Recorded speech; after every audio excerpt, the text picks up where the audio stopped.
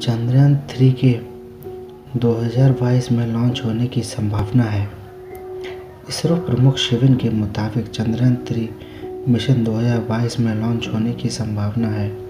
उन्होंने कहा, हम इस पर काम कर रहे हैं, लेकिन इसकी बनावट चंद्रयान टू की तरह ही होगी और इसमें ऑर्बिटर भी नहीं होगा।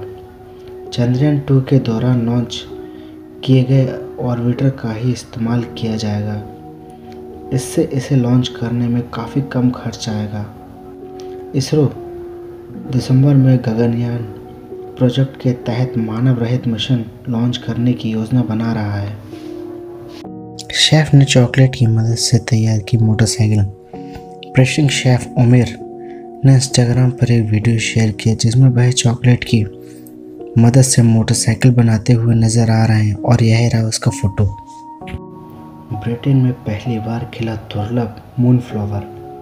विशेषज्ञों का मानना है कि ब्रिटेन में अमेजोनियन कैक्टस खिला है, जिसे मून फ्लावर मतलब रात में खिलने वाला फूल भी कहा जाता है।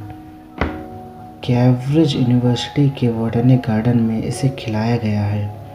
माना जाता है कि यह ब्रिटेन का एकमात्र ऐसा पौधा है।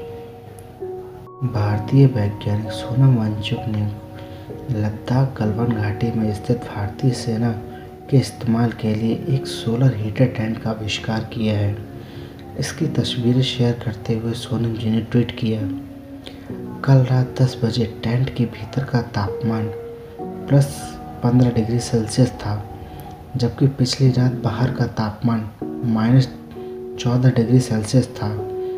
इसका वज़न भी तीस किलोग्राम से कम है। हमारे भारतीय वैज्ञानिक सोनम वांगचुक के लिए एक लाइक तो बनता है। क्या आपको पता है लीची को फलों की रानी भी कहा जाता है? शहद प्रकृति की बहुत ही सुंदर और मीठी देन है। इसका सबसे अच्छा स्रोत है दादे भनी जो सीधा मधुमक्खियों के छत्तों से निकलकर आपकी चम्मच तक पहुँचता है बिना किसी मेडिकल प्रोसेस या मिलावट के। यह आपको कच्चे शहद के अच्छी गुणवत्ता प्रदान करता है। आप इस पर भरोसा इसलिए भी कर सकते हैं क्योंकि यह देश के बाहर भी जाता है और इसको जर्मन की लेबोरेटरी में भी टेस्ट किया जा चुका है।